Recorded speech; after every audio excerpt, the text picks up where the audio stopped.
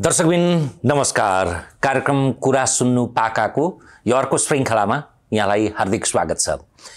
हरेक सोमबार राति आठ बजे प्रसारित हुने यो कार्यक्रम एउटा कालजयी समय व्यतीत गर्ने व्यक्तित्वहरू जो राष्ट्रिय अन्तर्राष्ट्रिय रूपमा नाम होस् नाम नहोस् छवि रहोस् अथवा नरहोस् तर एउटा व्यक्तिले चाहिँ असी पचासी नब्बे सय वर्ष काट्दाखेरि त्यो पनि अझै झरिलो भरिलो भएर आफ्ना ऊर्जा आफ्नो उमङ्ग आफ्नो उत्साह आफ्नो सदिक्षा आफ्नो सदाचार मात्रै होइन सद्भाव र सुआशीर्वाद बाँड्न सक्ने भनेको आफैमा त्यो उल्लेख्य र अद्वितीय कुरा हो। त्यसैले उहाँहरूको कुरा सुन्न पाउनु उहाँहरूको अनुभूतिलाई भोग्न पाउनु उहाँहरूका दुःखका सङ्घर्षका कहरहरू छिचोल्न पाउनु र उहाँहरूका खुसी र आह्लादका पुलाकनाका वासनाहरू आस्वादन गर्न पाउनु हाम्रो लागि त्यो आफैमा आशीर्वचन हो। त्यस्तै अर्कै एकजना पात्रसँग आज हामी संवाद गर्दैछौँ जो विक्रम सम्मत उन्नाइस सय छ्यासी साल माघ अठाइस गते ताप्लेजुङको याङपाङमा जन्मिनु भयो। मनमाया सिटौला। मनमाया सिटौला खरेलकी छोरी हुनुहुन्छ त्यसै गरी मैनालीकी भान्जी हुनुहुन्छ। अहिले पन्चानब्बे वर्ष पुगिसक्नु भएको छ। उहाँहरू जन्मिनुभयो हुर्किनुभयो विवाह पनि ताप्लेजुङमै भयो बसाइसराईका क्रममा मोरङ आउनुभयो। मोरङको अहिले हालको सुनवर्सी नगरपालिका र साबिकको गोविन्दपुर गाविसमा जसलाई सिटौलाहरूको घना बस्ती भएका कारणले सिटौला टोल समेत भन्ने गरिन्थ्यो। त्यहाँ आउनुभयो बाह्र सन्तान हुर्काउनु भयो एकजना सन्तानलाई चाहिँ दुई वर्षको उमेरमा गुमाउनु पर्यो तर एघार सन्तान जसमध्ये चार छोरी र सात छोरा। आज पनि धेरै विदेशमा देशमा नाम कमाएका विद्यावारिधि गरेका ठुलो ख्याति कमाएका छन्। त्यो सायद त्यही अङ्कुरण बुवा आमाको अङ्कुरणबाट त्यो पुष्पन र पल्लमन भएको हो। उहाँका श्रीमानसँगको सान्निध्यताको सन्दर्भ र त्यो पोयो पनि हामी खुपाउँ फुकाउँछौँ गङ्गा प्रसाद सिटौला जो तेह्र वर्ष अगाडि दिगम दिवङ्गत हुनुभयो। यिनै जीवनका उकाली ओह्राली भन्ज्याङ चौतारी र तरेलीहरूलाई हामी शब्द सम्वाद शब्द सेतु मार्फत उब्काउने प्रयत्न गर्दैछौँ। स्वागत छ आमा। नमस्कार नमस्कार। तपाईँ हुर्किएको त्यो परिवेशतिर जाउँ। मलाई अलिकति मद्दत केले गर्यो भने तपाईँकै छोरो। डाक्टर विशाल सिटौला जो नर्वेमा बस्नुहुन्छ। उहाँसँग मैले चार पाँच वर्ष अगाडि कार्यक्रम तम सोमा ज्योतिर्गमयमा कुरा पनि गरिरहेको थिएँ। र जब कुरा सुन्नु पाकाको सुन्नुभयो उहाँले तपाईँसँगै केन्द्रित रहेर आमासँगको अन्तर्सम्वाद अर्थात् वात्सल्य वार्ता अथवा आमासँगको अन्तरङ्ग भन्ने पुस्तक जो प्रकाशोन्मुख पनि छ त्यो मलाई प्राप्त भइसके पछाडि मलाई तपाईँसँगको संवाद त हामीले छुटाउनु हुँदैन। त्यो तपाईँको मात्रै भोगाइ होइन। त्यो ऊर्जा त्यो प्रेरणाहरू सबैका लागि हुनसक्छ भनेर। तपाईँ त जन्मिएको परिवेश कस्तो थियो ताप्लेजुङको? जन्मेको हजुर। ताप्लेजुङको। हजुर। अब म जन्मेको परि परिभाष त ताप्लेजुङमा जन्मेको परिभाष त मलाई भयो परिभाष त आमाले मात्रै जान्ने कुरा होला नि त। हो? अँ, अझ मैले परिवेश चाहिँ जस्तो तपाईँहरू लिम्बू गाउँमा जन्मिनु भएको थियो। कुमाईको ब्रा- ब्राह्मणहरूको क्षेत्रीहरूको तिन चारवटा घर मात्रै थिए। अलिपरतिर गुरुङहरू थिए। अलि मासतिर शेर्पाहरू थिए। हो त्यो कहानी सुन्न चाहेको। अलि माथि भोटे गाउँ भन्थे त्यहाँ शेर्पा थिए। अलि पर अलि अलि माथि पर लिम्बूहरू थिए। लिम्बूका घर थिए। अलि उता अलि पर पर। अलि अलि अलि पर अलग अलग। दमाईका पनि घर थिए। अँ, अलि त्यसका छेउछाउमा कामीका पनि थिए। सबै जातको थियो त्यहाँ बास। सबैजना बसेका थिए। र विशेष गरी अब लिम्बूहरूको लिम्बुवान भनिने त्यो ठाउँ होइन? उधौली उभौली धान नाच कसरी गर्थे? के के गर्थे? उनीहरूको उँधौली उँभौलीमा धान नाप्ने कर्म गर्थे। अनि उनीहरूको एउटा बिजुवा नाप्ने पनि कर्म छ त्यसमा। बिजुवा पनि नाप्थे धान पनि नाप्थे धान पनि एकपट्टि ती लिम्बूहरू उ बजाउने त्यो च्याब्रुङ बजाएर नाप्ने हो। अर्कापट्टि लिमुनीहरू धान नाप्ने। त्यसरी खेल्थे तिनीहरू तिनीहरूको जातिको।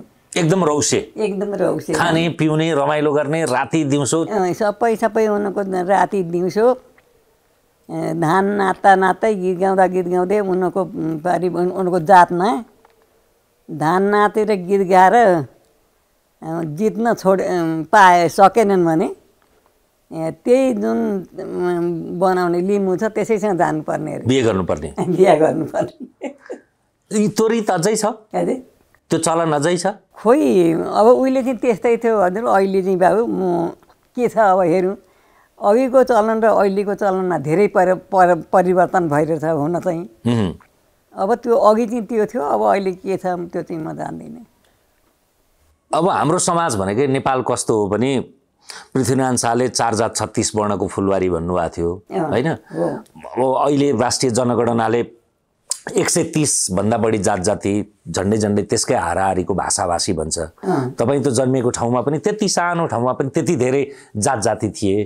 कसरी मिलेर बस्थे? के गरी एकअर्कालाई सहयोग गर्थे? कस्तो थियो? मिलेर बस्थे ती सबैजना मिलेर आफू आफूमा मिलेर बस्थे सबैमा मिलेर सबैले सान्त्वना लिएर मिलेरै बस्थे सबैजना। कहिले तिनीहरूको झगडा देखिएन हामीले देखियौँ अनि जस्तो अब तपाईँहरूले के सहयोग गर्नुहुन्थ्यो उनीहरूलाई उनीहरूले के सहयोग गर्थे? कस्तो कस्तोसम्म चाहिँ सहयोग? गर्नलाई ती गरिब दुखी अनाथहरू थिए भने तिनीहरूलाई सहयोग गरिन्थ्यो सबै थोक गरिन्थ्यो। आफूले ती गरिब दुखीलाई सहयोग गर गरियो भने तिनीहरूले पनि पर्या दिन काम दिन्छन्। काम दिन दिनु दिन्छन्। हामीले गरिएन भने त दिँदैनन्।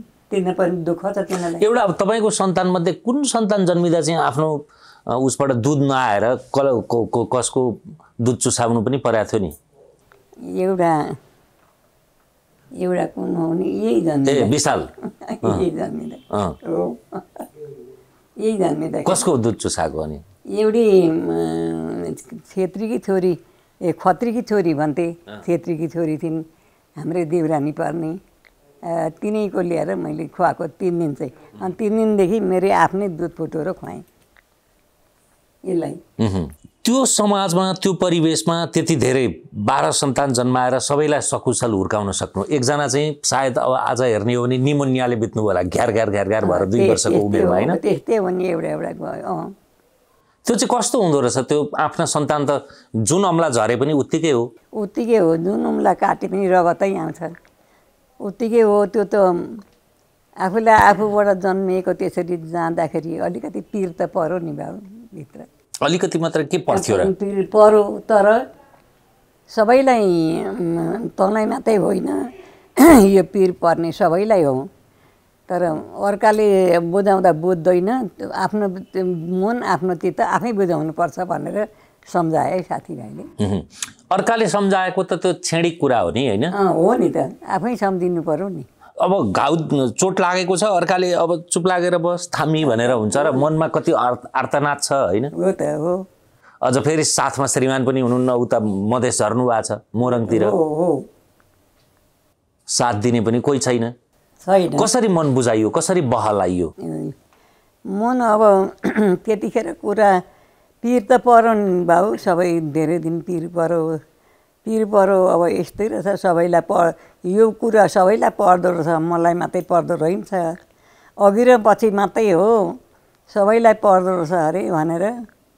अनि आफ्नो मन आफै बु बुझा बुझाउनु पऱ्यो बुझाएँ मैले तपाईँलाई अर्को एउटा सन्तान शैशव कालमा गुमाएपछि बाल्यकालमा गुमाएपछि एउटा ठुलो एउटा आजका दिनमा भन्ने हो भने जीवन दर्शन प्राप्त भयो कि?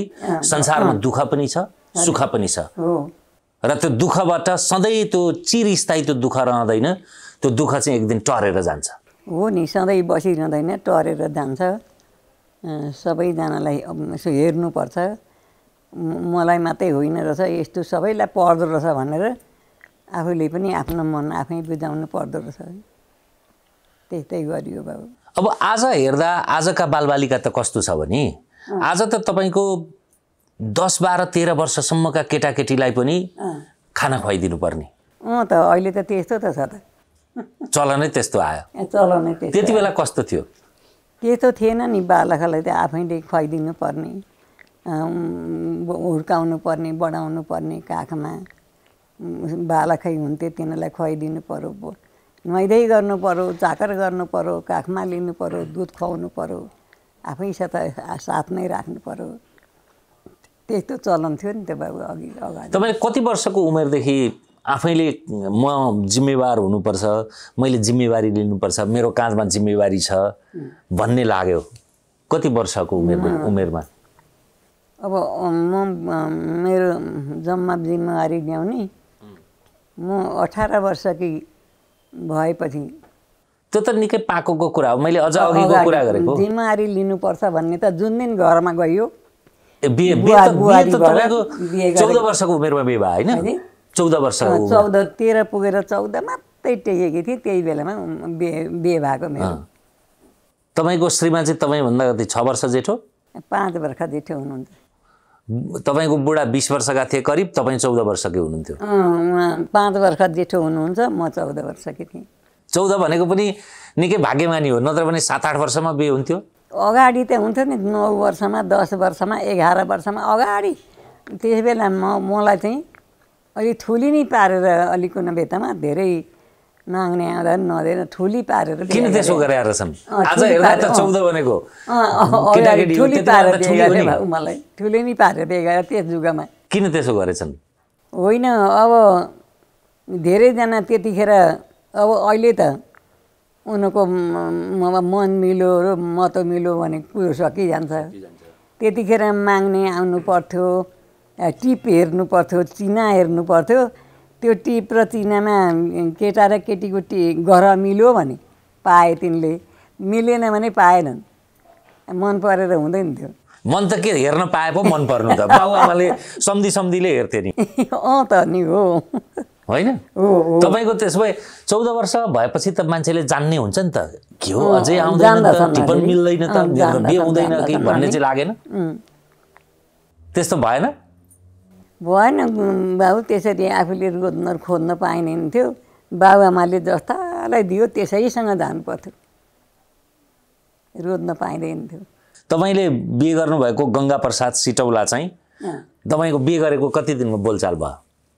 बिहे गरेको त्यतिखेर अब सबैले सुन्छन् जान्दछन् अब लाज हुन्छ बोल्दा भन्थे। भन्थे। भन्थे। अलि उहाँ चाहिँ अलि पहिले नै बोलिहाल्ने। पहिले नै बोलिहाल्ने अनि आफूलाई चाहिँ अलिक अप्ठ्यारो लाग्ने। ए भनेको बिहेकै दिन बोलियो? होइन बोलिएन कति दिन पछाडि? उहाँ घरमा लगिकन माइतबाट अन्भार पठाए घरमा लगिकन भित्रिएर पछाडि भएपछि अनि उहाँ भएर अब बोलाएपछि त बोल्नै? बुहारी भएपछि। त्यही दिन कि कति दिनपछि? ए दुई दिन पछाडि चाहिँ बोले मलाई चाहिँ अलिक आज अहिले पनि लाज हुँदैछ जस्तो छ? त्यो प्रसङ्ग सम्झिँदा? हो नि अहिलेसम्म अहिले पनि सम्झिँदा। लाज हुने त्यो लाज सम्झिराखेको छ अझै। के लाज हुनु नि अब पन्चानब्बे छ्यानब्बे त अघि पुरानो पुरानो चलन नि बाबु पुरानो चलन पुरानो नियम अहिले अघि त्यस्तै थियो। अहिले त बेहुला बेहुलीमा सँगै महत्त्व जति जोडेर सँगै बोल्छन्। अघि थिएन त्यस्तो चलन। बिहे गरेर चाहिँ के घोडामा आथे लिन कि हिँडेर कि डोलीमा बोकाएर लगे कि कस्तो गरे? अलि टाढाको बिहा हो हजुर मलाई बिहे गर्ने। त्यो उहाँबाट आठैमा बिहे गरेर जाँदाखेरि भन्ने ठाउँमा जाने चाहिँ कुन ठाउँ? आज दिनभरि हिँडेर बिहे ठाउँ रातिको हुन्थ्यो होइन याम याङपाङ चाहिँ तपाईँ जन्मेको अनि बिहे गरेर दिएको ठाउँ चाहिँ? बिहे गरेर दिएको ठाउँ चाहिँ आठै। ए, आठराई हो। आठै हाम्रो पनि त्यही हो आठराई आठै निगुरादिन भन्थे अँ, त्यही। तपाईँहरूको निगुरादिन हाम्रो आठराई चोकपुर। अँ, चोकपुर? अँ। हो। हो। चोकपुरमा घर?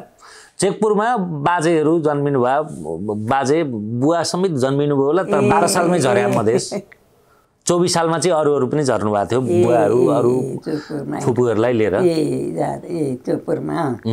अनि टाढाको कुरा आउँदै थियो। अनि कति समय लाग्थ्यो त्यो? रातिको बिहे त हो मलाई पनि याद छ।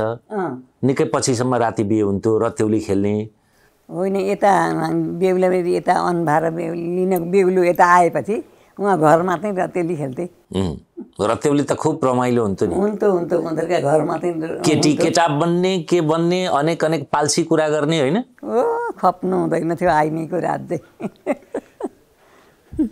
तिजभन्दा पनि छोइन सक्नुहुन्थ्यो? ए ए खप्नु होइन खप्नु। उनीहरूले जे मन पर्यो त्यही बोल्थे।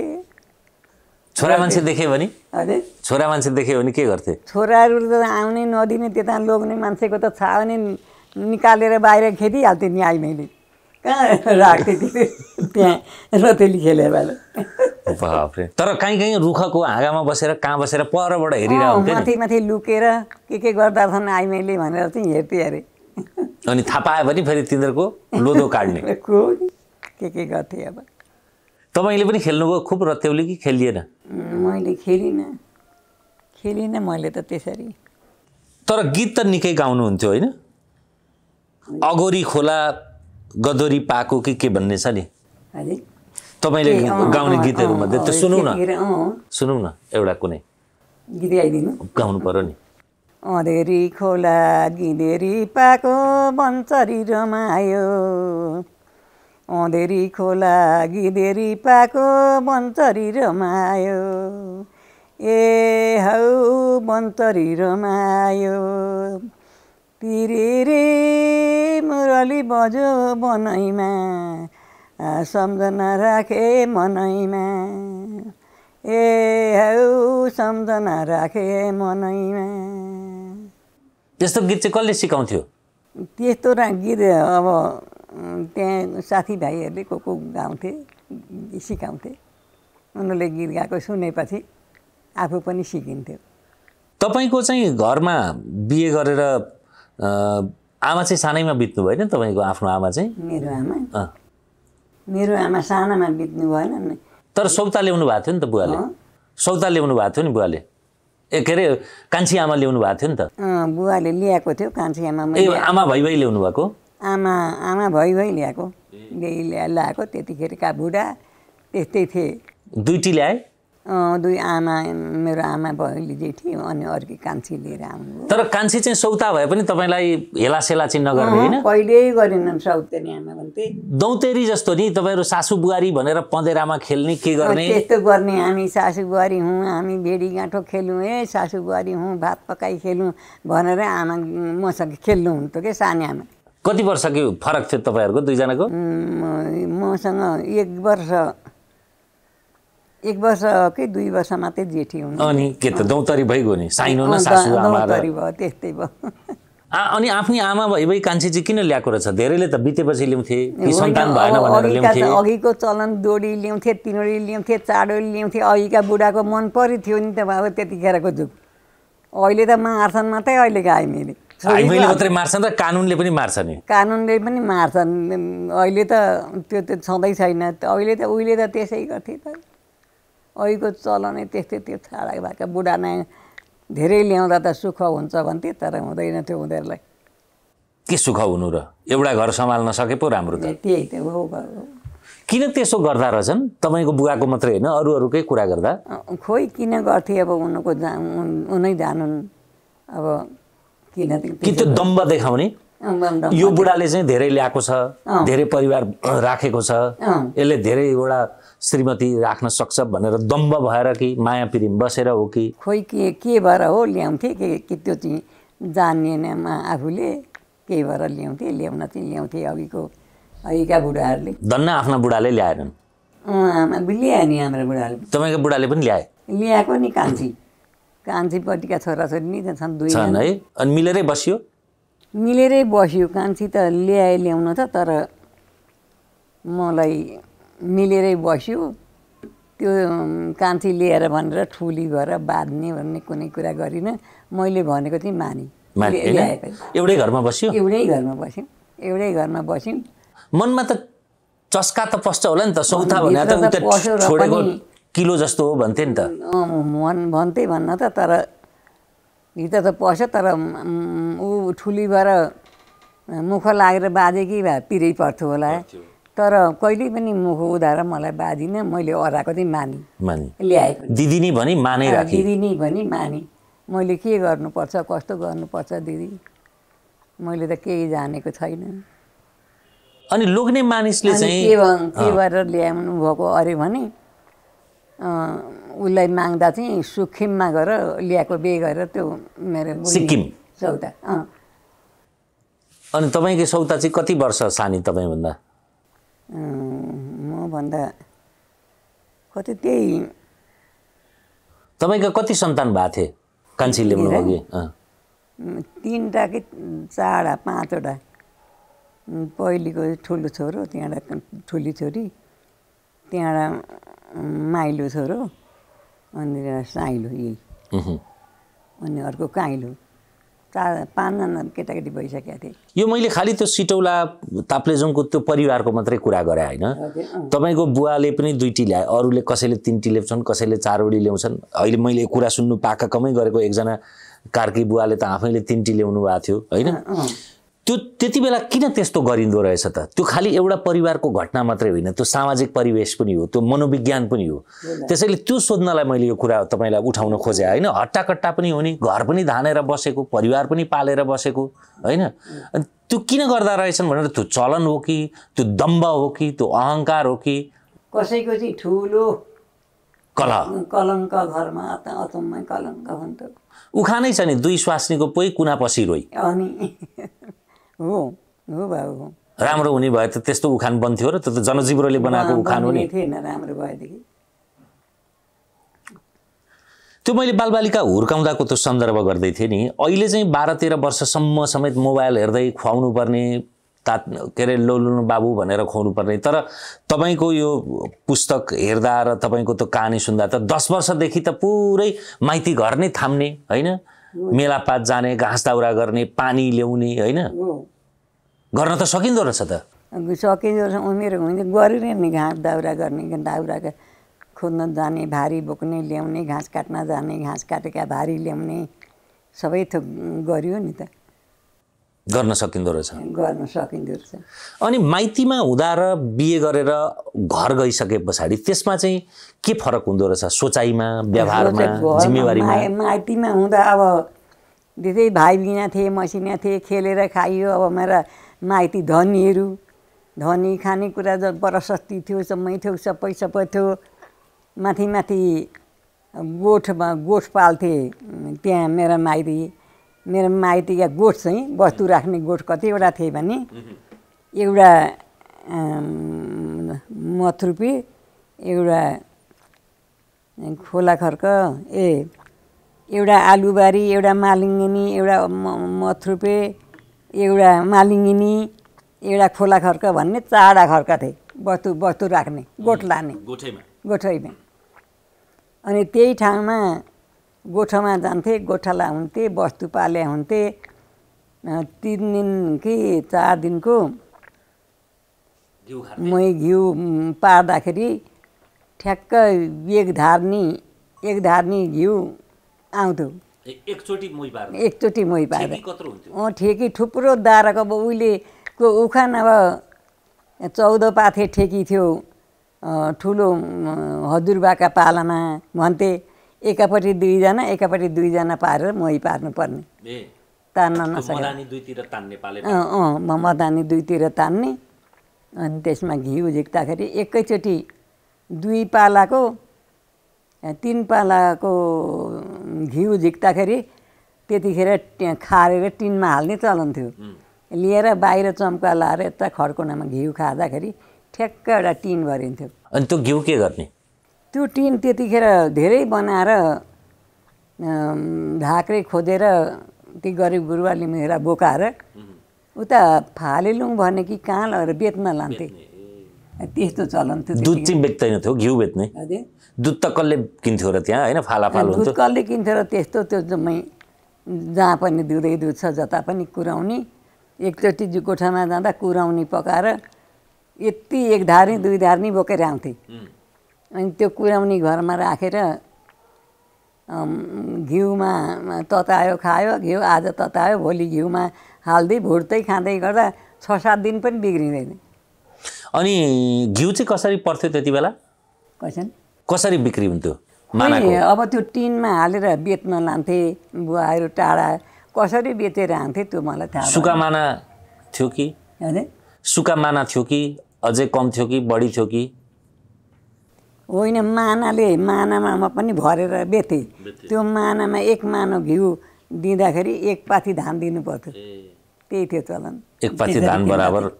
एक माना घिउ थियो। हजुर। अनि घिउ राई लिम्बूहरूले पनि घिउ खान्थे? होइन खाँदैन थिएँ बोकेर चाहिँ लान्थे। तिनीहरूलाई त्यो ढाकरमा हालेर भरिया बोकेर बोकाएर लान्थे बाबाहरू बेच्नलाई। तपाईँले त धेरै खेप चितुवालाई पनि भेट्नुभयो होइन? बाघ कराएको पनि सुन्नुभयो। भालुले त झन्डै झन्डै त्यहाँ पर्तिर देख्या होइन? त्यो एउटा तामा बाँसको तामा खाँदै थियो। कहानी सुनौ न। हो नि त उता उता फर्केर एउटा मालिङ्गाका टुसा माथि लेखमा जाँदा मालिङ्गो हुँदो रहेछ। त्यो मालिङ्गाका टुसा भाँतेर त्यो भालुले खाँदो रहेछ। उता फर्केर खाँदै थियो। म यताबाट बाटै गएँ। कति हुनुहुन्थ्यो? देखेको भए चाहिँ कति वर्ष खाइहाल्थ्यो अरे। कति वर्षकी हुनुहुन्थ्यो त्यति बेला? म त्यतिखेर त्यस्तै तेह्र चौध वर्ष पन्ध्र वर्ष कि थिएँ होला। हजुर। भर्खर विवाह थियो त्यसो भए? भर्खर भएको थियो मलाई। जाँदाखेरि खाँदा चाहिँ यता फर्केको र देखेको भए त मारिहाल्थ्यो। तर उता फर्केर उसले खाँदै गर्दा म अर्कै बाटो घुमाएर अर्कै बाटाबाट गएँ। मनसिरिङ्गै भएन? होइन अँ। अनि भरे पनि त्यही बाटो फर्केँ भन्दै हुनुहुन्थ्यो भरे पनि त्यही बाटो फर्किँदा चाहिँ थिएन त्यही। त्यही बाटो आउन कसरी आँटा आयो त? अब के गर्ने? बाटै त्यही थियो। अन्त थिएन जङ्गल घारी थियो। बाटै त्यही थियो। अन्त बाटो खोजौँ भने। अनि जे गरेर पनि आउनु पऱ्यो नि त्यहीँबाट। तर त्यो खाइवरी चाहिँ कता हिँडेछ? बाटो थिएन म आउँदा। तपाईँ ताप्लेजुङमा जन्मिनुभयो। पूर्वको असाध्यै ठुलो आप्तभूमि भन्छन् नि। पावन भूमि पवित्र भूमि पाथिभरा। पाथिभराको दर्शन गर्न मान्छे गइरहन्छन्। गत वर्ष म परिवारसहित बुवा आमा बहिनी ज्वाइँ होइन के अरे बहिनीको सासू अरू भाइ बहिनी बुहारी केटाकेटी सबै लिएर हामी गएको थियौँ। म उनासाठी सालमा पनि गएको थिएँ। पाथिभरा देवीप्रतिको तपाईँको श्रद्धा असाध्यै ठुलो छ। अरूको त हुन्छ तर तपाईँको झन् घटनै जोडिएर होला। होला बाबु मैले चाहिँ पाथिबाट यो सानो विशाल सानो पाँच वर्षको थियो। पाँच वर्षको थियो। अनि यसलाई खेल्दै अब भुरासँग खेल्दैछ खेल्दैछ अब अलिकति छोडेर पढ्तिर यसो काममा केहीमा गयो भने त्यसलाई यस्तो ठहर हप्याक हप्याक हप्याक गर्ने बिमार लाग्छ लाग्यो यसलाई। अनि मैले हे भगवान् हे पाथिभरा देवी यो रोग मेरो छोरालाई नलागोस् तिम्रा मन्दिरमा म दर्शन गर्न आउँछु भगवान् भनेर उनलाई कबल गरेपछि यसलाई छोडो। अनि यो पाँचै वर्षको थियो अनि अहिले बोकासोका लिएर अरू साथी लिएर भरिया लिएर ओड्ने ओछ्याउने खाने पिने दुईजना भरिया थिए। अर्को अर्को सानो योदेखि मुनिको नरेन्द्र भन्ने काइलो छोरो पनि वर्षीको मात्रै थियो। त्यसलाई पनि एउटा भरियालाई बोकाएँ अनि यसलाई सबैलाई बोकाएर अनि म पाथिबाट भगवान्मा गएँ दर्शन गर्न माथि पुर्याएँ। अनि यसो पैसाहरू थिए। सबै यति यति चा पा पैसा दिएर आएका थिए ती मन्दिरमा त्यतिखेर यसैले छरो त्यताउँदो छरोहरू प- चढायो सबै गऱ्यो तिमीलाई दर्शनमा आएँ भगवान् र यसलाई रक्षा होस् है भन्यो भने ढोगेर अनि फर्केर त्यहाँबाट आएँ आयौँ त्यहाँ पूजाआजा पाठाहरू पोकाहरू सबै संसार लिएर पूजा गर्दा रहन् त्यो पूजा गरेर काटेको खुन चाहिँ त्यो अचन्यामा हुँदो रहेछ बाबु। त्यो कहाँबाट कहाँ जान्थ्यो? तल यहाँबाट तल पहरो छ त्यो पहराबाट मुनि तल छिरेको छ चाहिँ भन्थे अरू। त्यसरी पूजा गरेर अनि आयौँ त्यसरी फर्केर आउँदाखेरि दुई दिनको बाटो। बाटो कस्तो अप्ठ्यारो थियो भन्नुहुन्छ भने अलिकति यति उम्लो मात्रै ठडिने उकालो जानु पर्थ्यो। अहिले त बनाएर भन्नुहुन्छ सबै बाटो बनाएर ठ्याक्कै माथि मन्दिरमै पुर्याएको छ अरे। बुढा छ नि। सिँढी सिँढी सिँढी बनाएर के अरे सानो फेदी कि कहाँसम्म त गाडी नै जान्छ ठुलो फेदीसम्म पनि राम्ररी पा- जानुपर्छ बस्ने ठाउँ होटल सुविस्ता छ गाडी। नै जान्छ। त्यहाँदेखि उँभो चाहिँ हिँड्नु पर्थ्यो। अहिले त बाटो त एकदम राम्रो बनाएको कसेर हिँड्नेले तपाईँको तल्लो फेदीबाट माथिल्लो फेदी डेढ दुई घन्टामा हिँड्न सक्छ अनि माथिल्लो फेदीबाट माथि देव माताको दर्शन पनि दुई तिन घन्टामा गर्न सक्छ। ए अहिले त अर्कै बनाएको छ अरे सजिलो। यही बिस वर्षमै त कति फरक उनासाठी सालमा म जाँदा त अँ, अगाडिको त यो त। लगेको अब यो पाँच वर्षको हुँदाखेरि गएको अनि आज कति वर्षको भयो यो त्यत्रो वर्षको भयो? सोह्र सत्र कति साले? सत्र सालको। सत्र साल। सत्र साल सत्र साल साउन तेइस गते जनै पूर्णिका दिनको जन्म सबै सन्तानको जन्ममिति याद छ छ। यो सत्र साल साउन जनै पूर्णिका दिन आइतबार जन्मेको यो जेठो छोरो चार सालको। चार साल साउन नाम पनि भनिदिनु न। जेठो खुसी हुन्छ नि खालि विशाल विशाल मात्रै भनिरहेछ। होइन जेठो छोरो। नाम चार- के? चार सालको। के हो जेठाको नाम? कृष्ण सिटौलो। ए। कृष्ण हो। त्यो के अरे झापाको ऊ छ नि के अरे पहिले मन्त्री भएको कङ्ग्रेसको नेता त्यो कृष्ण सिटौलो त होइन? होइन अर होइन अर्कै हो मेरो छोरो अर्कै छ। अर्कै छ। त्यो कृष्ण सिटौलो अर्कै हो। जे सबै सन्तानहरू अहिले आनन्दले आफ्नो आफ्नो काम गरिरहेछन् सन्तोक छ तपाईँलाई? सन्तोक छ सबै सबै सन्तान हुर्काइदिनु भयो बढाइदिनु भयो बाबाले गु- जुन नियममा जुन बाटामा लगाइदिएको थियो उसका बुवाले त्यो बाटो नछोडी लगे छोराहरूले सबैले नछोडी लगे त्यही लाइन गरे। छोरा पनि एक सय एक छन् छोरी पनि एक सय एक छन्। आनन्द छ मलाई आनन्द। केही छैन। अब हरि हे भगवान् हरिराम मैले अन्त्य कस्तो गरेकी छु?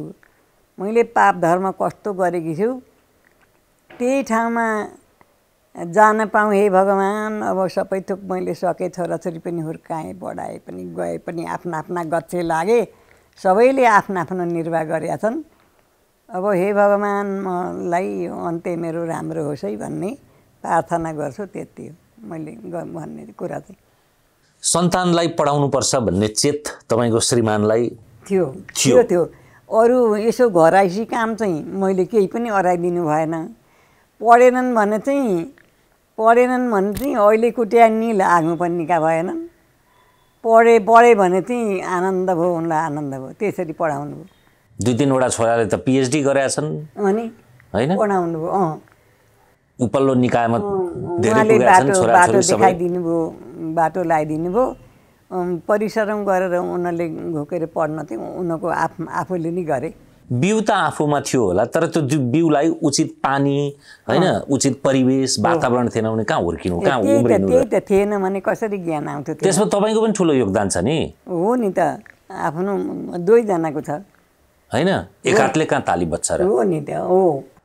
होइन? घर सम्हालिदिया थिएन अनि। पढाउनुपर्छ भन्ने कुरालाई साथ। दिया थिएन भने त घरमा त खास त। छोराछोरीलाई त बढी कस्तो बनाउने भन्ने संस्कार त बुवा भन्दा पनि आमाको बढी हुन्छ आमाको हुन्छ हुन्छ बाबु बुवाको त छारी नै हो। हो हो।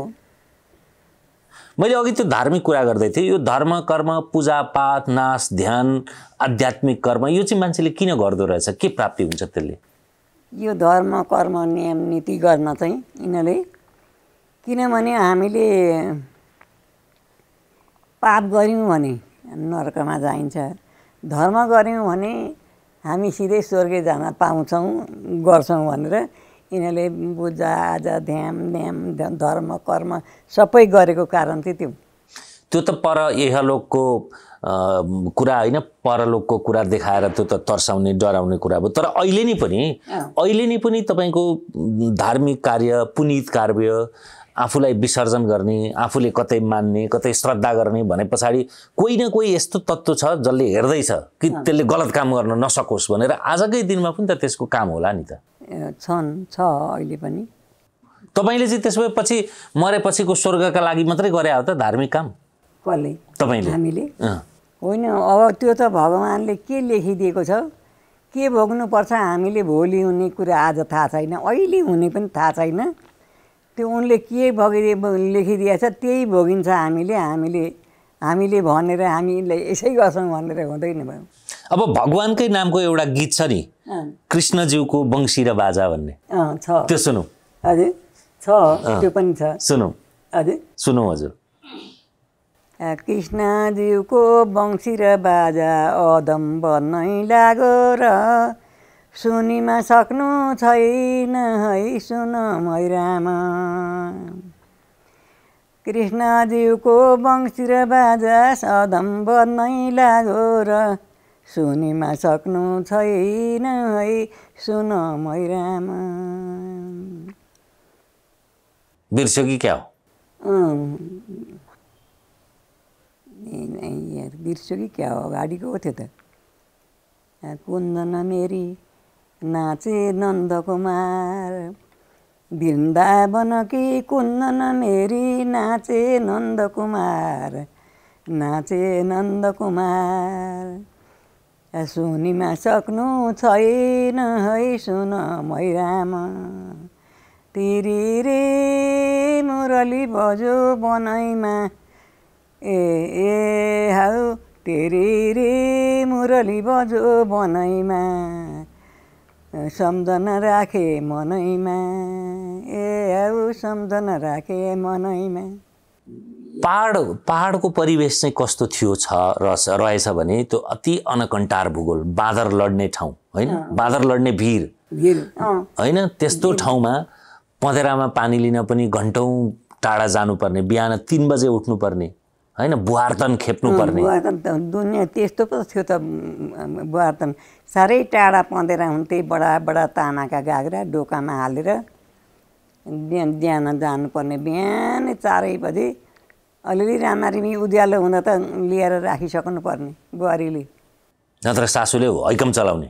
हैकम चलाउने सासूले हैकम चलाउने। बुढाले सौता ल्याउने सासूले हैकम चलाउने। कति दुःख। हो नि त। ऐका मान्छेलाई। थियो अनि त्यस्तो त्रासका बिचमा पनि यत्रा सन्तानलाई हुर्काउनु पर्ने पढाउनु पर्ने बढाउनु पर्ने त्यो आत्मविश्वास त्यो अठोट त्यो सङ्कल्प केले अगाडि बढाउँथ्यो त? निसार थियो त अगाडि त केही देखिँदैन थियो त अँध्यारै अँध्यारो जस्तो लाग्थ्यो त। होइन त्यो थियो त्यतिखेरको त शासन ती गर्नले गरे उनीहरूलाई उनीहरू लगनीमा लगाइदिएको छोराहरूले गरेर लगे छोरीहरूले पनि लगेर गरेर गरे दिएकै ठाउँमा बसे। अनि उनीहरूले गर्दै लगे आफूले पनि दुःख सुखको भोग्दै लैदियो गर्दै लगेपछि अनि पछि पछि त अलि आनन्द आउँदै आयो नि त। अलि सुख शान्ति पनि भयो। छोराछोरीको सुख शान्ति समृद्धि भयो भने त्यसैले आनन्द दिने होइन? आफूलाई जति कष्ट होस्। छोराछोरीले राम्रो गरी खाइदिए भने गरेका छोरीहरूले पनि गरी खाइदिए छोराहरूले पनि गरी खाइदिए भने बडो आनन्द आउँछ आफूलाई। आनन्द ढुक्क हुन्छ?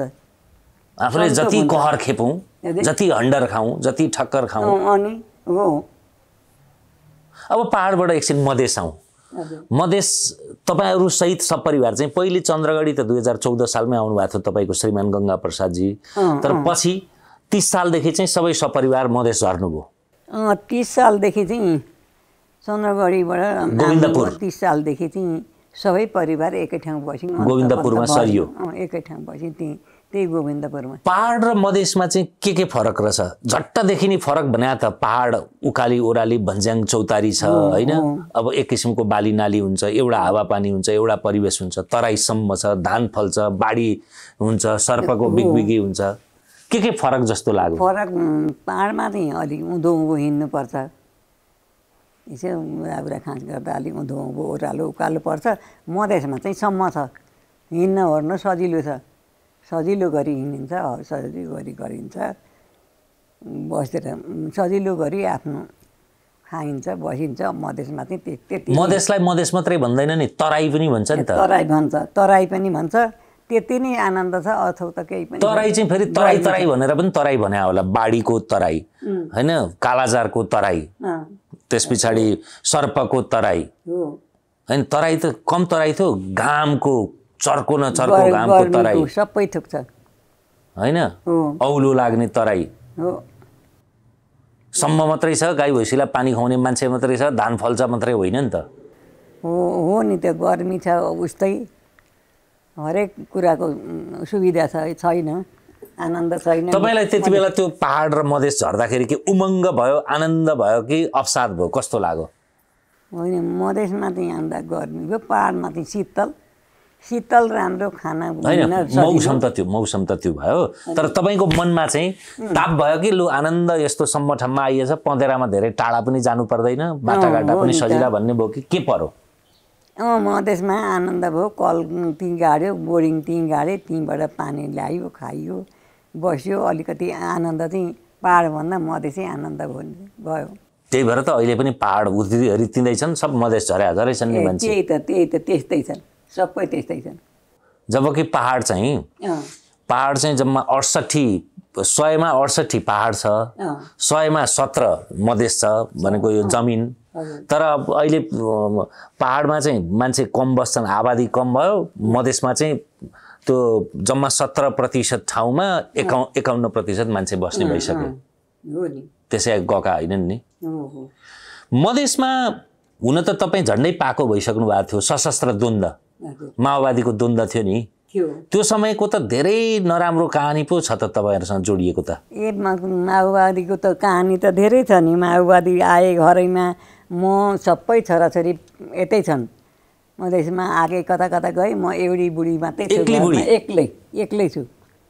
अनि माओवादी आए गरेर भएर बस् बस्न। त्यति बेला पनि साठी वर्ष उमेर कटिसक्नु भएको थियो। बुढा कटिसकेकी थिएँ नि बुढी नै थिएँ नि आए अनि के भन्छन् भने आएर के भने भने छ सातजना आए। अब यो घर हामीलाई चाहिन्छ तिम्रो कहाँ जाने ठाउँ छ त्यहीँ जाउँ हामी लाउँछौँ साँचो यो घरमा। भनेर आए। छ सातजना छन्। अनि कहाँ जानु र नानी? मेरो बस्ने ठाउँ यही हो खाने ठाउँ यही हो। बुढी मान्छे कहाँ जानु र म जाने ठाउँ छैन। बुढी भएँ बाबु म कहाँ जानु र अब भनेको त। तेरा छोरा कहाँ कहाँ छन्? कसरी बसेका छन्? कहाँ बसेका छन्? कहाँ व्यवस्था गरेर बसेका छन्? हामीलाई थाहा छैन। सब कुरा थाहा छ एक एक थाहा छ। हो त्यहीँ जानु त्यहीँ तैँले। भनेर भन् त नि भने? त्यसै त भन त तिनी त्यहीँ जानु सत्तरी कटिसक्यो कि आमैलाई पनि त्यहीँ जानु एउटा एउटा। फटा पर होला? फटा परेर त्यसो? भनेर भने अनि त्यहाँबाट त्यसो भन्छन् सधैँभरि आएर अनि त्यहाँबाट आए बसे खाए अनि अनि टाइममा आए आज जानु भने अब जानु भने भन्थेँ म जान्न है म कहीँ पनि जान्न नानी अब मेरो बस्ने ठाउँ यहीँ भनेर गएँ अनि आज पाँच छ दिनमा छ सात दिनमा आउँछ त्यसै भन्छ। छ सात दिनमा आउँछ त्यसै भन्छ। अनि के भन्छन् भने कति जब्बर बुढी रहेछ हामीले आएर यत्रो भन्यौँ के हेर्दिनँ त? घरै छोड्दिनँ त? भनेर नि भन्छन् भनेर हिँड्छन् बाजिया त। अनि आए घरमै आए नि बाउ। अनि ड्याममा आए कोही छैन मुनतिर एउटा दुई तिनवटा कोठाको घर बनाएको थियो। यता कोठामा ड्याम्म बन्दुक ठड्याएर बसिरहेछन् त्यहाँभित्र माओवादी आए। एक्लै छु। अनि त्यहाँबाट आए त्यहीँ बसेपछि त उसको मालिक पनि हुँदो रहेछ एउटा कमरेड भनेको उनीहरूलाई अराउने सिकाउने डुलाउने चाहिँ कमरेड भन्दा छन् त्यसको मालिक बेग्लै हुँदो रहेछ। अनि राति कमान्डर भने होला कमरेड त साथीलाई साथी। कमान्डर भनेको त्यसलाई। अनि आएर बसिरहेछन् बस्छन् ए त्यहीँ घरदेखि अलिपट्टितिर माछा पोखरी छ दुईवटा छन्। दिनभरि त्यहीँ बस्छन् त्यही पा माछा पोखरीमा नुहाइधुवाइ गर्छन् बस्छन् खान्छन् उता के के किनेर ल्याउने ठाउँमा छन् चिया पकाउँछन् खान्छन् त्यो कोठामा। आनन्द घरमा बसे जस्तो पो बस्छन् त बजिए त माओवादी आएर आनन्द एक्लै छु। अनि हेर बाबु तिमीहरू यहाँ यो बाटाको घर छ यहाँनिर सिपाही हिँड्यो भने ठुलो लडाइँ उठ्छ। तिमीहरू आफ्नो ठाउँमा जाऊ। कसरी जानुपर्छ भनेर भन्छु। अनि बसेँ बेलुका पाँच छ दिन बसेँ भात पकाएर खानिदिने। हामीलाई केही नदिनु भात पकाएर खानिदिनु। हामी केही गर्दैनौँ बस्छौँ मात्रै बास मात्रै दिनु बामै भनेर भने। अनि एउटी आई नै पालेकी थिएँ कि मैले। अझै पनि छ। त्यसैले भात पकाएर ती सबैलाई खुवाई बसेँ। बसेँ अनि बेलुका भएपछि जब राति भयो अनि ती बन्दुक बोक्ने त बन्दुक बोक्ने केटा त सत्र अठार वर्ष सत्र अठार वर्षका सत्र अठार वर्षका मात्रै छन्। त्यसले लिएर हिँडेका अनि बेलुका भएपछि तिनीहरूलाई कबल गराउँदो रहेछ क्या बाबु। त्यसलाई परि आयो भने तिमीहरू बन्दुक हान्न सक्छौ कि सक्छौ न? अनि सक्छौ कोही आएर शत्रुले आक्रमण गऱ्यो भने त्यहाँ भेट्न सक्छौ? सक्छौ। हामी सबै थोक गर्छौँ भनेर तिनीहरूलाई कबल गराएर सबै थोरलाई त्यसलाई कभल गराइसकेर अनि बेलुका राति भएपछि जम्मै भएपछि अनि ती सबै कवल काबल गरेपछि अनि ती बन्दुक काँधामा हालेपछि राति भएपछि अनि त्यो उसको कमरेड भनेको लिएर हिँड्दो रहेछ तिनीहरू कमान्डरले? लिएरै हिँड्दो रहेछ माओवादीले। चौकी हान्न गएका होलान् अँ, बेङ्क हान्न कि चौकी हान्न कि कहाँ? गोली हान्न मान्छे मार्न गएका नि। कति समय बसे तपाईँकोमा अँ, तिन दिन कि चार दिन बसे ढुक्कै। आनन्दसँगले। त्यो चाहिँ यो अब बुढी आमै एकजना बसेकी छे यहाँ को आउँछ र भनेर पुलिसहरू आउँदैनन् भनेर बस्या होलान्। होला नि बाटाको छेउ छ पुलिस आउँछन् यहाँ हुन्छ। बम हुँदो रहेछ बाबु यत्रो बोकेको बम हुँदो रहेछ यत्रा खुट्टा भएको। बम पनि हुँदो रहेछ त्यहाँ राखिरहेछन्।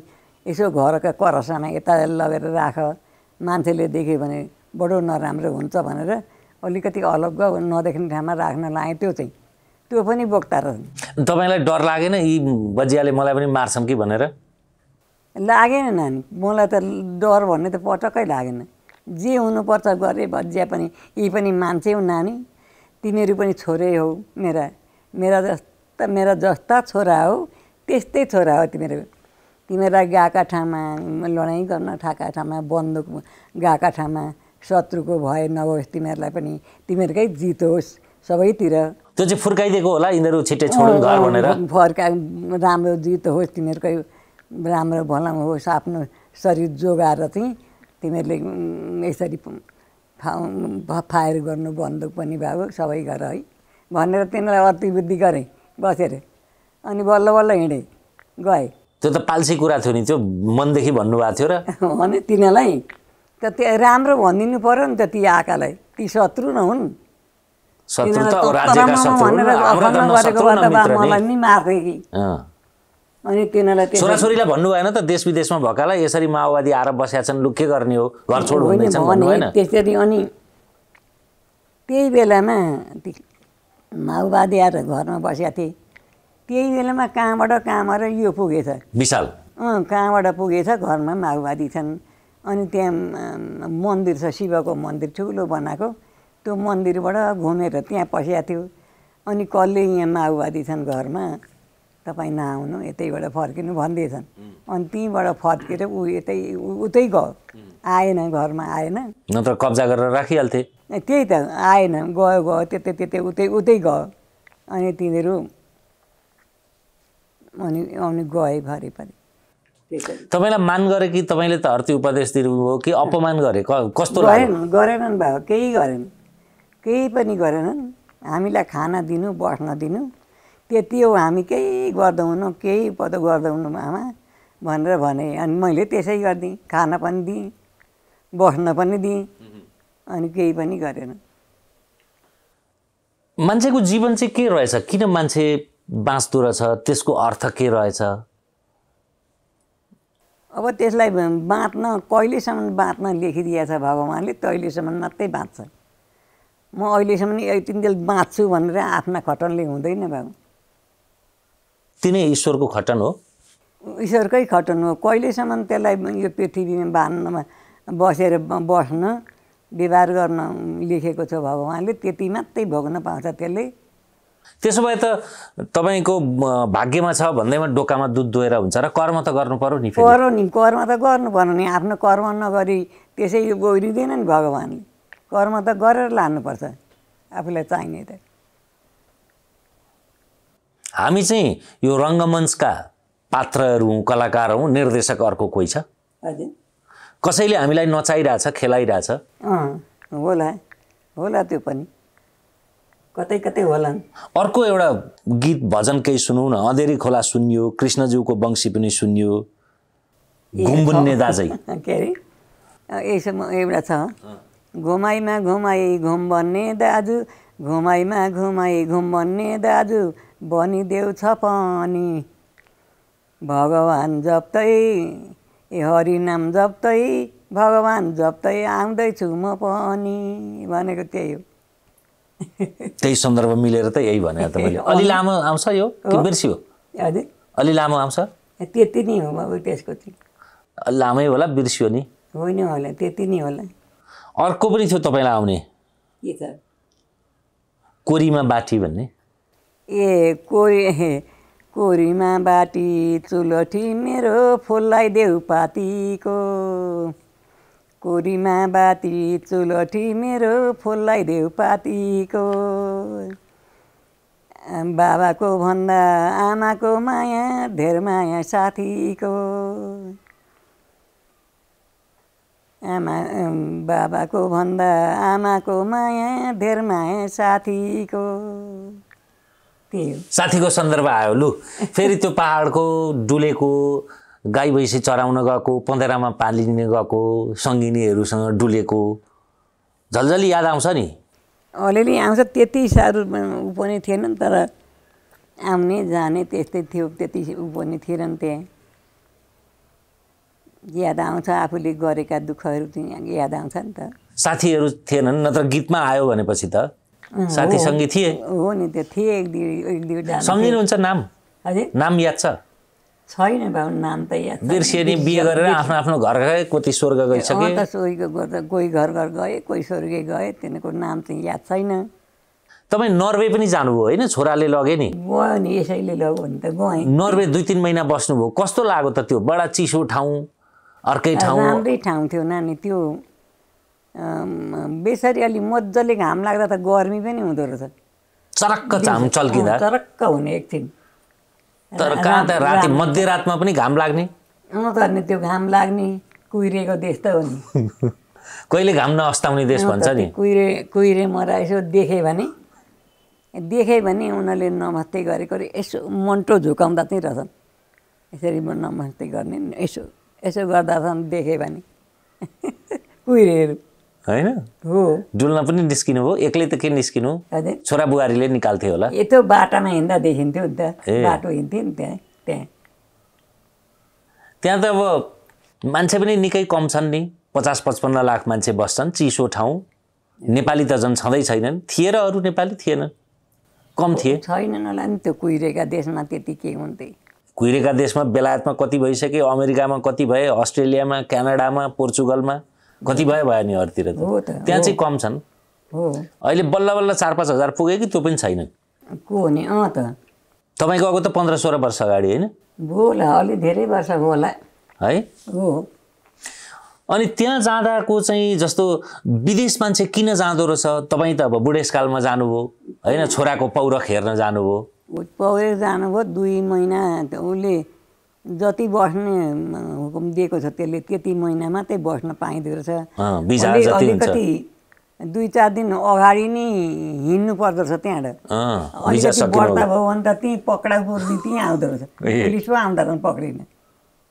नर्वेमा तपाईँ प्लेन चढेको त्यति लामो समयसम्म गएको केही अनुभव केही सुनाउनुहुन्छ त? किन तपाईँको उमेरका तपाईँभन्दा साना त आफ्नो घरबाट बाहिर पनि निस्किनु भएको हुन्न विदेश त टाढाको धेरैचोटि चढेँ नि म त। चढ्यो है? चढियो चढियो। उता नर्वे जाँदा पनि चढेँ यता हाम्रो गोविन्दपुर जाने बाटामा पनि विराटनगर। चढेर गयो। धेरैचोटि चढेँ बिलेनमा त। गाडी र प्लेनमा के फरक हुँदो रहेछ? अब गढीमा त अब लामो घच्याक घुचुक गर्छ। जिउ थतार्कम माथि चढेपछि त आनन्द यही घरमै बसे जस्तै छ नि त। हल्लाउँदैन काहीँ केही। अनि सिटमा ठ्याम्म बस्यो। उडाइरहन्छ।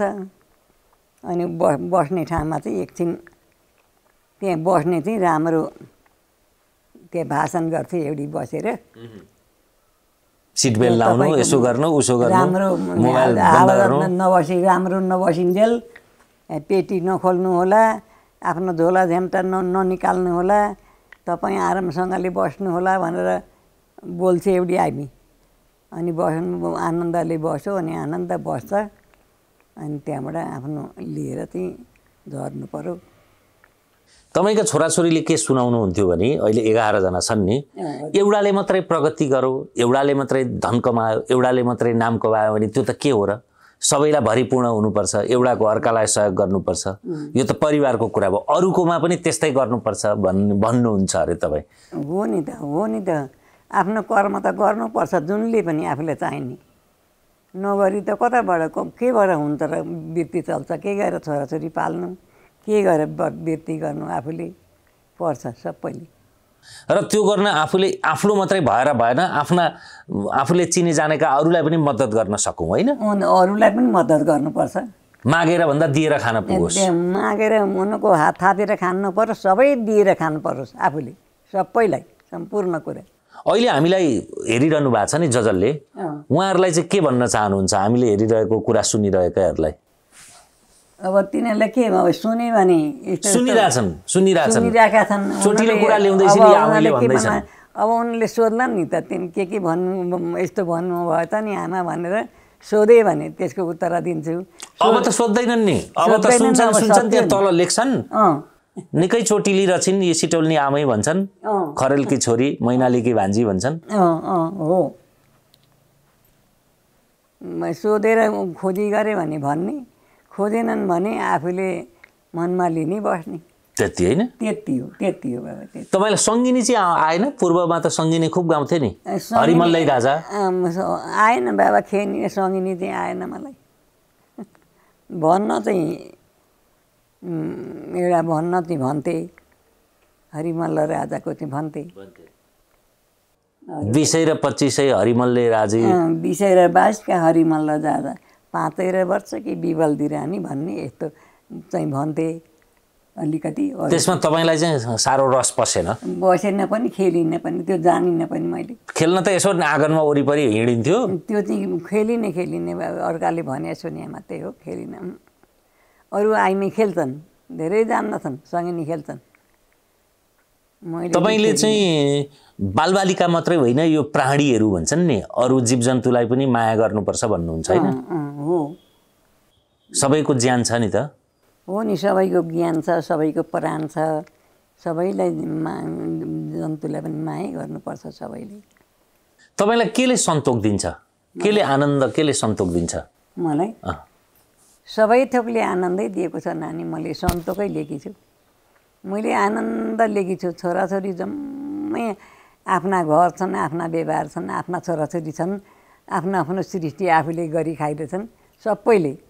त्यसैमा आनन्द छ मलाई केहीको फिक्री छैन। आनन्द छ। एउटा कुरा त तपाईँकी सासूले जति दुःख पाउनुभयो त्यति तपाईँले अलिक कम पाउनुभयो होला। तपाईँले जति पाउनुभयो तपाईँकी बुहारीले त्योभन्दा कता हो कता कम। अनि नातिनीले त झन् फुलै फुलमा नाचेर खाने होला। कति छिटो समय बदलिएछ है? त्यो बलियो नि त बाबा समय त आज भनौँ भोलि भनौँ दिन भनौँ रात भनौँ। यो समय बदलिएको समय बदलिरहेका छन् आफ्नै दिन गइरहेका छन् हामी थाहा पाउँदैनौँ। यो समय त बदलिएको हो मान्छे पनि बदलिएको होला। होला बदलिएको होला मान्छे पनि बदलिएकै होलान्। ऊ समय त्यति दुःख गरियो नि अहिले पनि त त्यति दुःख नगर्दा पनि त खान त पुग्ने रहेछ जीवन चल्दो रहेछ। चल चल्छ नि त्यति दुःख नगर्दा पनि अब दुःख त अहिले त अब गर्नै परेको छैन जति गर्नु पहिले नै गरियो। सबै थोक छ केहीले खाँचो छैन। होइन हजुरको मात्रै कुरा गरे होइन। अहिले त कसकामा त्यति बढी तिन बजे उठेर पँधेरामा पानी लिन जाने घाँस दाउरा गर्ने। अहिले पनि मान्छे खेती नै गर्छ। अहिले पनि मान्छे काँचै खाँदैन पकाएरै खान्छ। बाहिरको। काम पनि भ्याउँछ चलन त्यस्तै छ होला। छैन धेरै घटो नि चलन। घटो घटो पनि होला अब त छैन त्यस्तो चलन। काहीँ पनि भन्छु है मेरा मनले। चाहिँ चाहिने भन्दा बढी बुहार्तन पनि गर्ने बढी कच्याउने। अँ, त्यस्तो चलन भएर पनि हो। सबैको त्यस्तो फेरि त्यो समयलाई दोष दिएर हुँदैन। त्यति बेला सबै त्यही गर्थे। त्यही गर्थे समय नै त्यस्तो थियो जुगै त्यस्तो थियो। त्यही गर्थे सबैलाई। सबैले गर्थे आफूलाई मात्रै होइन।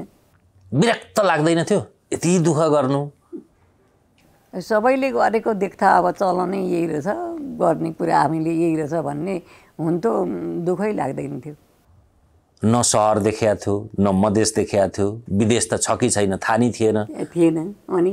घरमा न रेडियो थियो। रेडियो त स्थापना भएको थियो तर न रेडियो थियो न टिभी थियो न फोन थियो न गाडी देखिया थियो।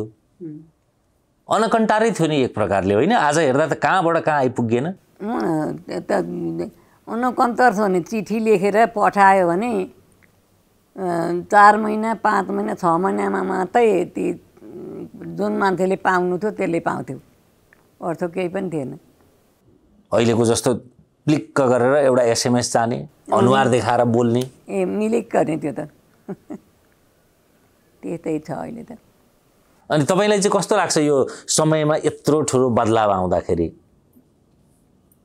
मलाई कस्तो पनि लाग्दैन। अब जुग अनुसारको अघि त्यस्तै थियो त्यस्तै भोग्यो। अहिले जुग अनुसारको त्यही परिवर्तन आइरहेछ त्यही भोग्छन् सबै।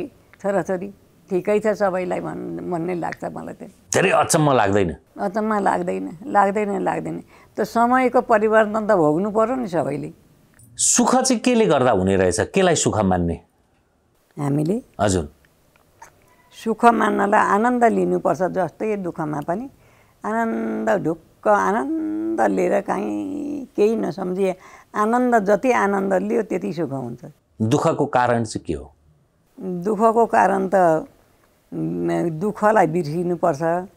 अनि आनन्द सुखलाई सम्झेर आनन्द लिनुपर्छ। सबै सन्तोक त्यतैबाट हुन्छ। एक्लै बस्दा के गर्नुहुन्छ तपाईँ? हजुर। एक्लै प्रायः त एक्लै त हुन्छ नि। छोराछोरी आफ्नो आफ्नो काममा जान्छन् श्रीमान बिति गए एक्लै बस्दा धेरै समय के गर्नुहुन्छ? अरूलाई पनि त्यो हौसला मिलोस् भनेर। बस्छु म हैसालाई बस्छु बानी भयो खान दिन्छन् बस्छु ती खायो बस्यो। आनन्द लियो भगवान्को भक्ति गरौँ बसु। हजुर आनन्द गरौँ बस्यो घडी हेर्दै हुनुहुन्छ नि कति लामो कुरा गर्न आँटो भनेर कि कति बजो भनेर? हेरै बस्नु भनौँ एक दुई तिन चार पाँच बजीसक्यो। अनि के समय बितेर के हुन्छ र? अब समय बितेर पाँच बज्यो। अनि के हुन्छ त? पाँच बजेपछि छ बज्छ छ बजेपछि सात बज्छ? छ बज्छ पाँच बज्यो अब। यस्तै यस्तै घडी बित्छ होइन? सेकेन्ड बित्छ मिनट बित्छ घन्टा बित्छ दिन बित्छ हप्ता बित्छ महिना बित्छ वर्ष बित्छ दशक बित्छ अनि जीवनको चोला बित्छ। होइन तपाईँलाई चाहिँ अब बुढेसकाल लाग्यो कहिले हो कहिले जीवन टुङ्गो छैन मृत्युसँग डर लाग्दैन? कहिले मरिन्छ होला कसरी मरिन्छ होला? लाग्दैन। लाग्दैन लाग्दैन पटक्कै डर लाग्दैन। डर लाग्दैन। जतिखेर जे हुनुपर्छ त्यही हुन्छ। आफूले अहिलेदेखि डराएर खुट्टा कमाएर हुँदैन।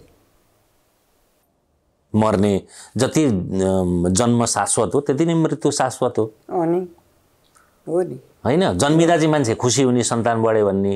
अनि मर्नु पनि त चाउरी परेर बुढेसकाल भएर खान नसकेर होइन? घ्यार घ्यार भएर ओछ्यानमा पल्टिएर होइन? त्यस्तो थला थला पर्नुभन्दा त। अँ त हो नि। जान त सबैलाई छँदैछ। छँदैछ नि त्यो जन्मिएपछि त जान त सबैलाई एकचोटि छ। तर त्यो चाहिँ थला नपरिकन एकै ठाउँमा घुमन नभइकन अर्काले स्याहार्नु नपरिकन जान पाएदेखि अन्त हे भगवान् भन्ने चाहिँ छ। बुढ्यौली चाहिँ के यौवनमा जस्तो होइन वैँसमा जस्तो भन्दा के फरक हुने रहेछ सोचाइमा अरू अरू कुरामा के फरक हुन्छ? शरीरको तापमा अरूमा? अनि शरीरमा उमेरमा अब त हिँड्न पनि सकिन्छ खान पनि सकिन्छ गर्न पनि सकिन्छ जे पनि जहाँ पनि जान सकिन्छ उमेरमा। अब बुढौली भएपछि कहाँ जानु छ कसले लान्छ र आफू हिँड्न सकिँदैन। कहीँ जान सकिँदैन। एकै ठाउँ बस अब यहाँ बस भन्छन्। त्यहीँ बस्यो त्यहीँ दिन्छन्। त्यहीँ खायो त्यहीँ सुत्यो त्यहीँ बस्यो। त्यही त हो नि अब हामीले। हाम्रो उमेरले गतिले। बुढो भयो सबरङ्ग गयो आँगनै पनि परदेश भयो। हो नि त। थाहा छ नि बाबुहरूलाई। हाम्रो जवानी तपाईँहरूको विगत हो भने यहाँहरूको बुढ्यौली हाम्रो भविष्य हो। जब भविष्यप्रति बेखबर हुन्छ तब त्यो वर्तमान चाहिँ रोमाञ्चित हुँदैन। हुँदैन होला। अलि ठुलो ठुलो कुरा गरेँ कि क्या हो मैले नबुझ्ने? गरेको बुझ्ने कुरा गर्नुभएको छ बाबुले। कुरा चाहिँ सबै कुरा बुझ्ने सबै थोक भएका कुरा जम्मै थोक कुरा बुझेर जम्मै थोक तपाईँले भन्नुभएको छ। आजकल आजकल तपाईँहरूसँग कुरा गर्दा गर्दै मैले भाषा र भाव पनि उस्तै उस्तै ल्याउने कोसिस गर्दैछु। हो। हजुरबासँग सानामा त यहाँ भन्दा के लिनु छ अझै? अब अरू। भाका ल्याएकै छु मैले। ल्याएको छ। त साह्रै ल्याउनु भएको छ। त्यहाँभन्दा ल्याउने ठाउँ छैन। छैन है? छैन छैन। अरू बुढा बुवा आमाले पनि त्यसै भन्नुहुन्छ। म धेरै फुर्किने पो डर त। हो नि। मैले मात्रै रहेछ त? अब ल्याउनु छैन सबै थोक बुझेर सबै थोक गरिसक्नु भएको छ। अब यहाँबाट बुझ्ने कुरो छैन बाबुले हुन्छ तपाईँहरूको आशीर्वाद लागिरहोस्। तपाईँको दीर्घ जीवन तर त्यो दीर्घ जीवन स्वस्थ जीवन होस् मस्त जीवन होस्। राम्रो होस्। बाबुको आयु पुरा होस् भगवान्ले रक्षा गरून् आयु पुरा होस् जे सम्झ्यो त्यही जे चिताए त्यही पुगोस् भगवान्ले रक्षा गरून् जहाँ गए पनि भगवान्ले रक्षा गरून्। आयु पुरा छ शोक नपरोस् रोग नलागोस् जहाँ जाँदा जाँदा पनि भगवान्ले रक्षा गरून्। जे चिताए त्यही पुगोस् बाबुहरूलाई। सन्तानले सुख शान्ति दिउन् आनन्द दिउन् बाबुहरूको नमस्कार। यो हेरिरहने सबैलाई भनेको म बाबुलाई मात्रै होइन अरू सबै बाबु नानीलाई। अनि सबैलाई सन्तान सबैलाई आनन्द आओस् बाबुराज अन्तिममा एउटा कुरा सुनाइदिनु नि त। बिहान कति बजे उठ्नुहुन्छ? दिनभरि के के गर्नुहुन्छ? म? बिहान म छ बजे उठ्छु। छ बजे उठ्छु। छ बजे उठेपछि त्यहाँ एउटा सानो बदल छ पानी खाने त्यो पानी एकछिन उगा गर्छु जिउ तन तान्तो गर्छु यसो उसो गर्छु जिउ चलाउँछु। अनि त्यहाँदेखि एक बोतल पानी छ त्यहाँ राखिदिएको। त्यो बोतलका एक बोतल पानी लगिदिन्छन्। त्यो पानी खान्छु बिहान। बिहान खाएर अनि त्यहाँबाट उठेर लुगा लिएर अनि कोठामा गएर भित्र गएर नुहाइधुवाइ गर्छु। ननुहाइकन एक दिन हुँदैन। नुहाएर सिनिक्क भएर आएपछि अनि त्यहाँबाट ठेक्का लुगा राखिदिए हुन्छन् लुगा फेर्छु। खान्छु बस्छु अनि त्यहाँबाट एकछिन लुगा बस लुगा लागिसकेपछि अनि भ भगवान्लाई पानी चढाउँछु बाहिर गएर। पानी चढाउँछु पानी चढाएर अनि भगवान्का तोत्रहरू भन्छु। मलाई भगवान्का तोत्र भन्छु। मलाई पानी चढाइसकेपछि सूर्य भगवान्लाई नमस्कार आकाशका तेत्तिस कोटी देवतालाई नमस्कार पत्तालका बासुकी नागलाई नमस्कार सनातन धर्मलाई नमस्कार सबैलाई नमस्कार सबैलाई नमस्कार है। सबैलाई नमस्कार गरेकी छु मलाई मलाई पीडा नदेऊ हे भगवान्। तिमीले अस्तुति गरेर म बाँचेकी छु मलाई पीडा नदेऊ है। हे हरि हे भगवान् तिमी नै छौ है। सबैको लागि हर्ने भर्ने तिमी नै छौ भनेर भगवान्लाई ढोक्छु त्यहाँबाट पानी चढाएर आउँछु र अनि त्यहाँ यहाँ बाहिर बस्ने ठाउँ छ। एउटा कुर्सीमा बस्छु अनि खुट्टा पसारेर त्यहाँ बस्छु। अनि त्यहीँ ल्याइदिन्छन् खानेकुरा। अनि एउटा अलिकति के जति त्यहाँ ल्याउँछन् त्यही खान्छु त्यहाँबाट चिया लगिदिन्छन् त्यहीँ बसेर खान्छु। नौ बजे निकै नौ बज्दा दस बज्दासम्म चाहिँ त्यहाँ बाहिर बस्छु। अनि उठेर भित्र आउँछु। ओछ्यानमा आएपछि अनि यसो उसो गरेर खाएर एघार बज्छ। कहिले एघार बज्दा कहिले बाह्र बज्दा खाना खान्छु दिउँसोको अनि त्यहाँबाट उठेपछि अनि दिन अहिले अहिले दिन अलिक छोटा छन् रात चाहिँ लामा छन्। त्यस्तै छन् बाबु बेलुकासम्मको पुर्याउनु पर्यो नि त यो त भर्खर मध्याह भयो। अनि के के गरिन्छ त बेलुकासम्म? बेलुकासम्म केही गरिँदैन बेलुकासम्म अब सको सबै थोक थला पऱ्यो खाना खायो अब सुत्नु पऱ्यो नि त। हस्। फेरि पनि आशीर्वाद। हवस् बाबु नमस्कार बाबा नमस्कार। हामीसँग हुनुहुन्थ्यो पन्चानब्बे वर्षीय मनमाया सिटौला। संयोग पनि कस्तो? केही साता अगाडि हामीले ताप्लेजुङमै जन्मिएकी मनमाया सिटौलासँग संवाद गरेका थियौँ। सायद उहाँ चाहिँ मैनालीको हो कि पर्साईको छोरी हुनुहुन्थ्यो? यहाँ चाहिँ खरेलकी छोरी हुनुहुन्छ। पर्साईकी नातिनी भनौँ बान्जी हुनुहुन्छ। उहाँसँग हामीले यो कुरा सुन्नु पाएको चाहिँ दुइटै खालको छ। एउटा सार्वजनिक छवि भएको राष्ट्रिय अन्तर्राष्ट्रिय रूपमा ख्याति कमाएको न उमेरले पचासी कटेको कृषक आय भएको तर अहिले पनि सक्रिय भएको लेखन गर्ने कृति राख्ने त्यस्ता पात्रको पनि कुरा गरेका छौँ। कतिपय चाहिँ आफ्नो परिवेशमा आफै डटिरहने खटिरहने लागिरहने त्यो ऊर्जा परिवारलाई पनि दिइरहने सकेसम्म समाजका अरूलाई पनि ऊर्जा दिने त्यो पढेको होस् साक्षर होस् निरक्षर होस् तर त्यो अनुभव भनेको अनुभव हो। त्यसमा ठुलो स्वीकृति राखिरहनु पर्दैन। त्यो आफ्नो भोगाइ नै ठेले ठुलो कुरा हो भनेर यसमा चाहिँ दुईवटा कुरालाई नै हामीले सँगै मिसाइरहेका छौँ। र अर्को सुन्दर पक्ष चाहिँ यसमा न कुन जाति न कुन वर्ग न कुन लिङ्ग न कुन क्षेत्र सबैलाई समेट्ने प्रयत्न गरेका छौँ। तपाईँहरूका सिफारिसलाई हामीले निर्बन्ध रूपमा सकेसम्म क्रमशः राखिरहेका छौँ। मैले अगाडि पनि भने हामीसँग सयौँ होइन हजारौँ सिफारिस आएका छन्। यो साप्ताहिक श्रृङ्खला वर्षमा बाहुन्नवटा भ्याइएला। जति भ्याइन्छ सकेसम्म हामीले आगो ताप्नु मुडाको कुरा सुन्नु बुढाको भन्ने उखान थियो। तर हामीले कुरा सुन्नु पाकाको यो लिङ्गको विभेद पनि नहोस् कसै कसैले अर्ग्यानै गर्नुहुन्छ नि त फेरि। आफैमा त्यो उखान त हो। उखानमा धेरै ठुलो भाव हुन्छ त्यो भाषालाई शाब्दिक रूपमा। त्यसलाई चाहिँ कुन रूपमा लिने भन्ने हो? अविधा अर्थमा लिइदिनुहुन्छ कि भन्ने डरले त्यसलाई लक्षणा र व्यञ्जना बनाउन भनेर कुरा सुन्नु पाकाको गरेका हौँ।